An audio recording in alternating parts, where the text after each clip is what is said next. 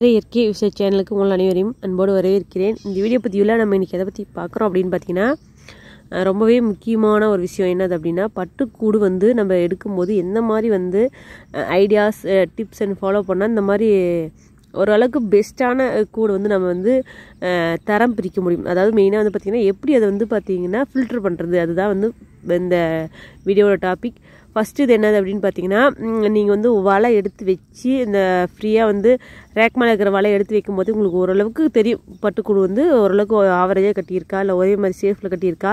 இல்லை நிறைய வேஸ்ட் கூடு இருக்கா? இல்லை கறிப்புழு இருக்கா? அப்படிங்கிறது வந்து ஓரளவுக்கு நீங்கள் ஐடென்டிஃபை பண்ண முடியும். அப்போ அப்படி இருக்கிற டைமில் வந்து பார்த்தீங்கன்னா நீங்கள் வலையில் வந்து கறிப்புழு வந்து இறந்துருந்தது. நீங்கள் இந்த ஒரு மூணு நாள் நாலு நாள் அந்த கூடு கட்டுறதுக்கு இடம் ஃப்ரீயாக விடும்போது அஹ், நோய்வாய்ப்பட்ட புழுவெல்லாம் கண்டிப்பாக வந்து வலை மேலேயே அப்படி இந்த கூடு மேலேயே இருந்து அது மேலேயே வந்து கறிப்புழுவாட்டம் ஆயிரும். அதெல்லாம் வந்து பார்த்திங்கன்னா ஒன்று ரெண்டு வந்து பார்த்திங்கன்னா லிக்யூடு மாதிரி அது உழுது அந்த கூடு மேலே கரையெல்லாம் ஆயிரும். ஒன்று வந்து பார்த்தீங்கன்னா சும்மா வலை மேலே மட்டும்தான் இறந்து போய் அப்படியே இருக்கும். அந்த மாதிரி இருக்கும்போது நீங்கள் வலை எடுத்து வைக்கிறீங்க அப்படின்னாவே அப்பயே வந்து இந்த கறிப்புழுவு வேஸ்ட் புழுவு ரொம்ப மெல்லிசாக ஒன் லேயர் கட்டி உள்ளே செத்து போயிருது இல்லைங்களா? அதுதான் வந்து வேஸ்ட் கூடு. அந்த கூடெல்லாம் வந்து பார்த்திங்கன்னா எடுத்துருங்க. ஏன்னா அது மறுபடியும் கட்ட போகிறதில்ல அது வந்து மறுபடியும் அந்த வலையிலே வச்சுருந்தீங்க அப்படின்னா அந்த கூடு மேலே தான் வந்து கரையாக வாய்ப்பு அதிகம். இதில் இந்த மாதிரி விஷயம் இருக்கும்போது என்ன ஒரு டிப்ஸ் ஃபாலோ பண்ணலாம் அப்படின்னு பார்த்தீங்கன்னா உங்களுக்கு ஒரு கூடு வந்து கரையாயிடுச்சு. கறிப்புழு வந்தோட சாறு வந்து ஒரு கூடு மேலே ஆயிடுச்சு. அது நல்லா இருக்கிற கூடு அப்படின்னா அந்த கூடு தனியாக எடுத்து வச்சு காய வச்சிருங்க. ஏன் அப்படின்னு பார்த்தீங்கன்னா அந்த கூட்டில் வந்து லிக்யூடு மாதிரி அந்த கறிப்புழுவோட அந்த இது கருப்பாக இருக்கிற அந்த சாயை ஒட்டும் போது அந்த கூடை நீங்கள் மற்ற கூடோடு போடும்போது அதுலேருந்து கண்டிப்பாக வந்து அந்த பஞ்சு தானே இல்லைங்களா? அந்த கூடு வெளியே இருக்கிறதெல்லாம் அது வந்து உரிய வாய்ப்பு அதிகம். அதனால் அந்த மாதிரி கரை ஆயிடுச்சு அப்படின்னா அந்த மாதிரி கூடெல்லாம் தனியாக காய வச்சு அதுக்கப்புறம் வந்து ஒடுக்கூடோடு போடுங்க. ஏன் அப்படி சொல்கிறேன் அப்படின்னு பார்த்தீங்கன்னா நீங்கள் ஒடுக்கூடே ரொம்ப கருப்பாக ரொம்ப எல்லாமே டல்லாக இருக்கிற மாதிரி இது பண்ணாலும் ஒடுக்கு கூடுக்கும் வந்து ஒரு ரேட் ஃபிக்ஸ் பண்ணுவாங்க. அந்த ரேட் வந்து கம்மி பண்ணிடுவாங்க.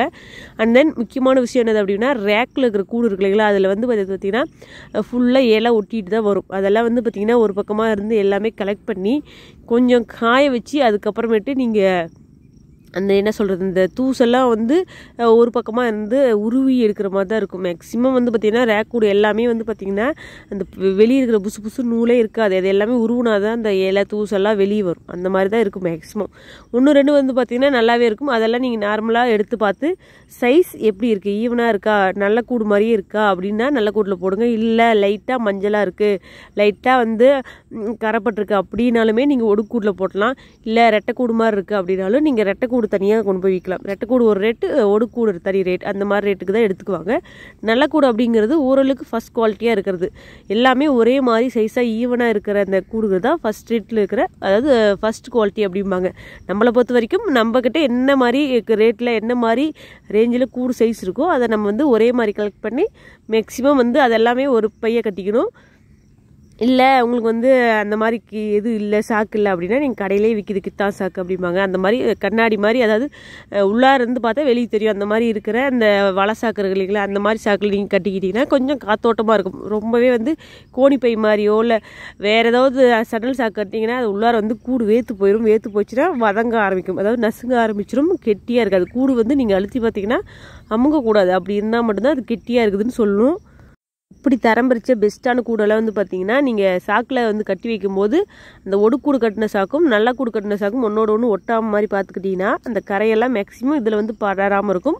அண்ட் தென் ஒன்று மேலே ஒன்று அழுத்தி ரொம்ப வெயிட்டான பொருளை வந்து மேலே அழுத்தி வச்சிங்கன்னா கூட அந்த கூடு வந்து நசுங்கிறதுக்கு வாய்ப்பு இருக்குது ஒருவேளை அந்த கூடுக்குள்ளே இறந்த புழு ஏதாச்சும் கறிப்புழு இருந்தாலும் கூட அது நசுங்கி இந்த சாறு வெளியே வரதுக்கு வாய்ப்பு இருக்குது அந்த மாதிரி பண்ணாமல் நீங்கள் வந்து ஃப்ரீயாக அந்த மூட்டையை தனியாக வச்சிங்க அப்படின்னாவே ஓரளவுக்கு நல்லா காத்தோட்டமாக இருக்கும். அண்ட் தென் கூடு வந்து அமுங்காமல் எதா எதனாலேயும் அமுங்காமல் இருக்கும். இந்த வீடியோ உங்களுக்கு பிடிச்சிருந்தா லைக் பண்ணுங்கள் ஷேர் பண்ணுங்கள் அண்ட் தென் முக்கியமான விஷயம் ஏதாச்சும் உங்களுக்கு டவுட்டு அப்படின்னா கண்டிப்பாக கமெண்டில் சொல்லுங்கள் அது சம்மந்தப்பட்ட எல்லா ரிப்ளைஸும் நான் வந்து கண்டிப்பாக கீழே போஸ்ட் பண்ணுறேன் தேங்க்யூ